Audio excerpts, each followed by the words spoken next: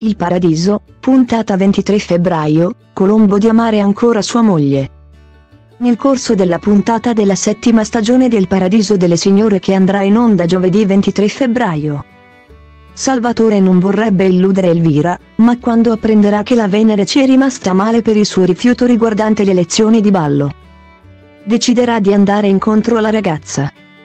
Intanto, al circolo avverrà un furto e Mattia Costa ammetterà la sua colpevolezza a Marcello. Il quale, però, capirà che, dietro il reato commesso dal suo ex compagno di carcere, vi è stato lo zampino del commendatore e del suo alleato Ferdinando. Dopodiché, Ezio si ritroverà a soggiornare di nuovo nella camera d'albergo dove ha trascorso la notte di passione insieme a Gloria. E qui, Colombo capirà di amare ancora sua moglie e di volerla nella sua vita. Nella prima parte della puntata del Paradiso delle Signore, Salvatore rifiuterà di seguire delle lezioni di ballo insieme ad Elvira perché non vorrebbe illudere la ragazza. Tuttavia, quando il giovane amato capirà che la signorina Gallo è dispiaciuta della situazione, farà un passo indietro e le andrà incontro. Inoltre, questo potrebbe essere il momento giusto per il barista, per dimenticare le sue pene amorose dopo il fidanzamento fallito con la stilista Gabriella e il matrimonio sfumato con Anna Embriani. Intanto, al circolo, il commendatore Guarnieri metterà in atto il suo diabolico piano ai danni di Barbieri e, per farlo, deciderà di colpire Mattia Costa. Infatti, quest'ultimo verrà accusato di furto e, in seguito, ammetterà al suo amico Marcello la sua colpevolezza. Ciononostante, il pupillo di Adelaide capirà che dietro questo reato c'è la macchinazione di Umberto e Ferdinando. L'arrivo di Diletta al paradiso ha smosso gli animi di Vittorio che cercherà in ogni modo di evitare l'intervista da parte della ragazza.